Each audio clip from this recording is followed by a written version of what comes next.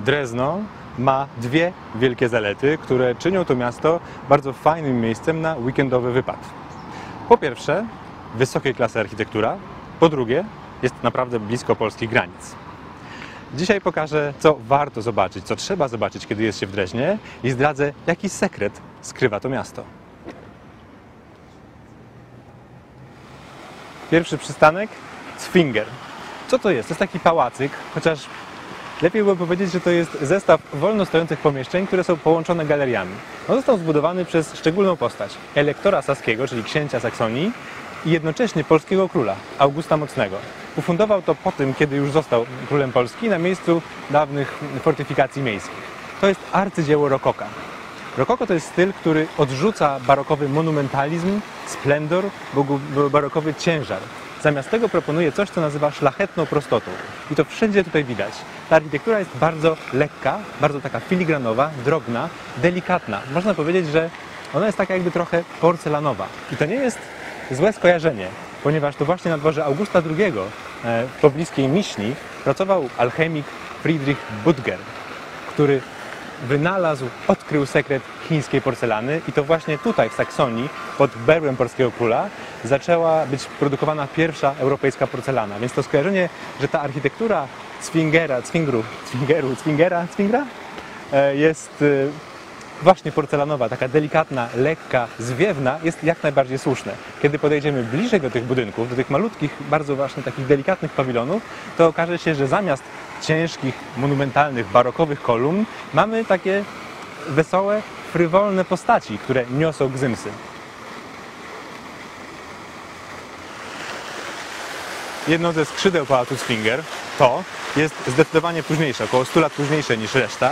Jest już w zupełnie innym stylu, jest historystyczne, ale tutaj ważniejsze jest to, co mieści się w środku. Tam jest Gemälde Galerii Alte Meister. E, Moim zdaniem jest to jedna z najlepszych kolekcji malarstwa, jakie są tak blisko naszych granic. Najlepsza kolekcja malarstwa tak blisko naszych granic. E, Są tam obrazy, które należą do najsłynniejszych dzieł malarstwa w historii. Na czele z dziełem, które być może kiedy powiem tytuł, to niewiele Wam mówi, ponieważ ono tutaj jest opisywane jako Sixtinisze Madonna, ale jeśli pokażę Wam te dwa słodkie aniołki, to na pewno będziecie wiedzieli o co chodzi. Po wyjściu z lekkiej i wesołej architektury Pałacu Swinger przychodzi czas na trochę poważniejszą nutę. To jest katolicki Hofkirche, kościół dworski zbudowany przez Augusta III w stylu późno-barokowym. Ma dużo kolumn, ma monumentalne cechy, składa się z dwóch wielkich brył ustawionych jedna na drugiej, do których dostawiono ażurową i trochę lżejszą, trochę osłabiającą ten monumentalizm wieżę. Ale prawdziwy popis monumentalizmu i poważnej architektury jest tutaj. Zaprojektowana w XIX wieku przez Gottfrieda Zempera Zemper-Oper. Gottfried Zemper należy do jednych z najważniejszych architektów XIX-wiecznych.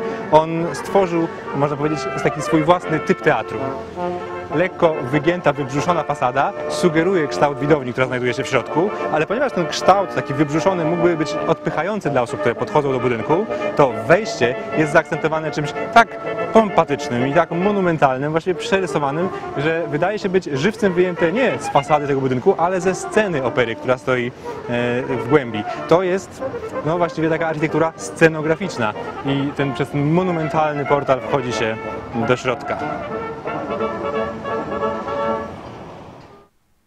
Wzdłuż Fürstenzug, czyli ponad 100-metrowego pocztu kolejnych margrabiów, hrabiów, książąt i królów, którzy władali Saksonią na przestrzeni 800 lat, udajemy się w kierunku jednego z najpiękniejszych barokowych kościołów Europy. Drezdeński Frauenkirche wygląda trochę jak tort z kamienia, ale moim zdaniem to jest bardzo smaczny tort. To jest kościół, moim zdaniem, jak żaden inny.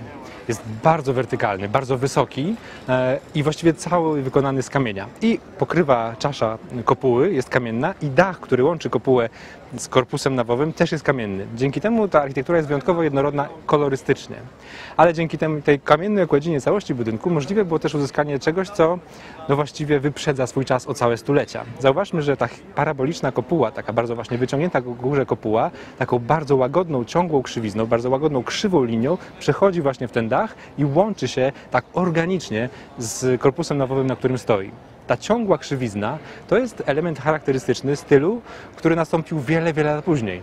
secesji, więc można powiedzieć, że tutaj w połowie XVIII wieku architekci już przewidywali tą dążność do właśnie ciągłej, miękkiej krzywizny. Być może właśnie ta ciągła krzywizna przejścia pomiędzy korpusem a kopułą sprawia, że ten kościół jest tak malowniczy i stanowi ten, ten środkowy, wspaniały punkt na mapie urokliwych uliczek wijących się dookoła mm, Neumarktu, czyli tego placu, na którym teraz jesteśmy. Ale Drezno ma swój sekret. Jeszcze 25 lat temu ani tego kościoła, ani tych uliczek, ani malowniczych kamienic wszędzie dookoła niego nie było. W lutym 1945 roku aliancki nalot bombowy starł Drezno w pył. Nie zostało tu właściwie nic oszczędzone. Całe historyczne, całe historyczne centrum tego miasta przestało istnieć. Po wojnie zdecydowano się Drezna nie odbudowywać. Zrekonstruowano tylko najważniejsze zabytki. Zwinger, Zemperoper, Hofkirche. Dopiero po zjednoczeniu Niemiec pomyślano, że ta wielka i pusta przestrzeń, która została uprzątnięta, na której środku straszyła jedna zachowana ściana Frauenkirche i kupa gruzu po nim, powinna zostać jakoś zagospodarowana.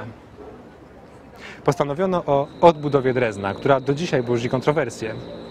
Ale dzięki temu, że przyjęto bardzo konkretne zasady, jak ma wyglądać, to ten cały obszar, który łączy stare z nowym, czy właściwie stare nowe z nowym, jest bardzo jednorodny, bardzo harmonijny.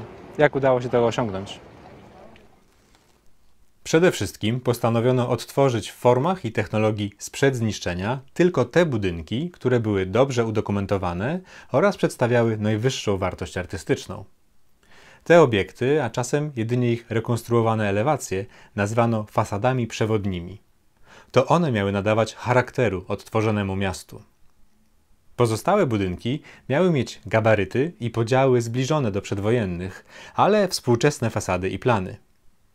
By móc je zbudować, podjęto zakrojone na szeroką skalę badania archeologiczne przeznaczonych do likwidacji zrujnowanych kilkusetletnich piwnic. Ale jak sprawić, by wszystko do siebie pasowało? Jak wskrzesić ducha Drezna sprzed bombardowań? Ustanowiono rygorystyczne zasady dotyczące kolorystyki wszystkich elementów budynków, które mimo odmiennych form miały tworzyć jeden spójny zespół. Dzięki temu nawet bardzo nowoczesne kamienice nie wydają się odstawać od swoich barokowych sąsiadek. Dziś możemy znowu cieszyć oczy tą wspaniałą architekturą, która stanowi nasze wspólne polsko-saskie dziedzictwo. W końcu Drezno było także stolicą polskich królów. Odbudowa Frauenkirche stanowiła kulminacyjny moment pierwszego etapu rekonstrukcji całego śródmieścia Drezna, ale to wcale nie znaczy, że ta rekonstrukcja jest zakończona. Tutaj trwa właśnie budowa nowego, zabytkowego kwartału. Dzięki za obejrzenie tego odcinka. Kliknij poniżej, aby zobaczyć film o odbudowie Gdańska i kliknij tutaj, aby subskrybować ten kanał. Do zobaczenia.